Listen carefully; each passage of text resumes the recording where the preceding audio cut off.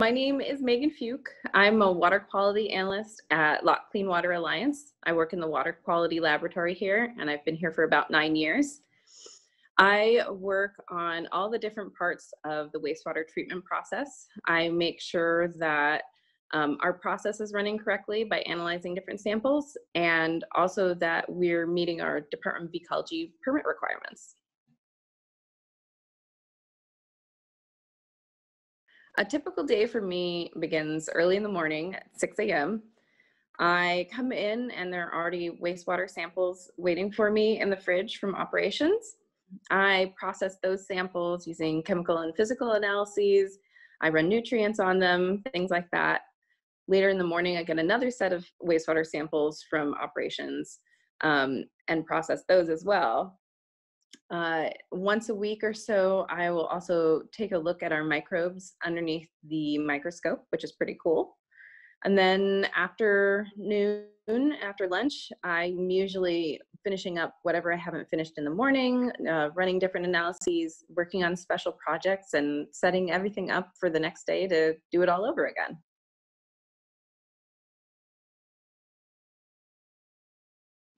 Something that's really cool about my job is that I work with microbes. Microbes are what treat our wastewater. It's what we use. It's what we're supporting out there to, you know, do our job.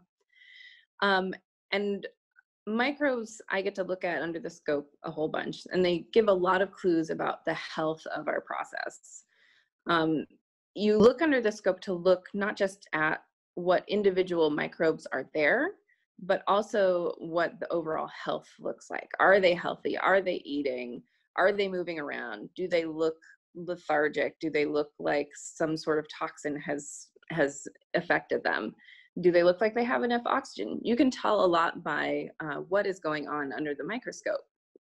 But even with looking under the microscope, about 99% of what is in that um, biomass is bacterial. I can't necessarily see what is going on with bacteria, even with my microscope, which I look at, at its highest power is a thousand uh, times magnification.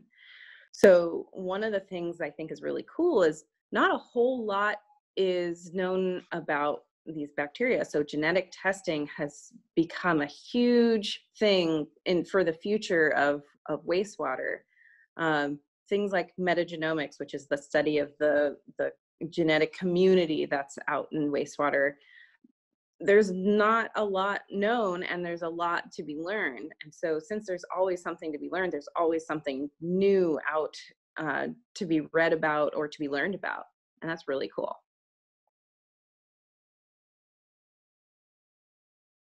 I was inspired to work in wastewater because I find it to be a really interesting problem. There's only ever more waste. There's only ever more wastewater. And how do you deal with waste and wastewater in growing populations? How do you deal with it with humanity? It's a, a big problem facing humanity.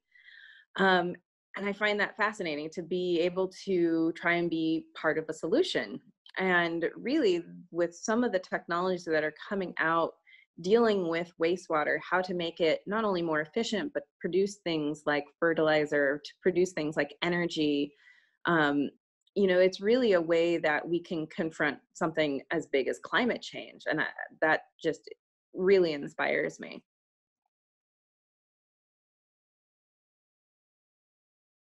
When I was growing up, I was always into science and biology.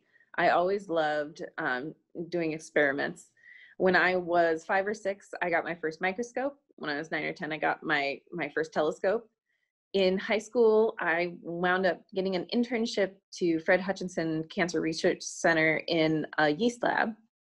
Um, after that, I went to college at UW Seattle in, and I got a um, BS in biology.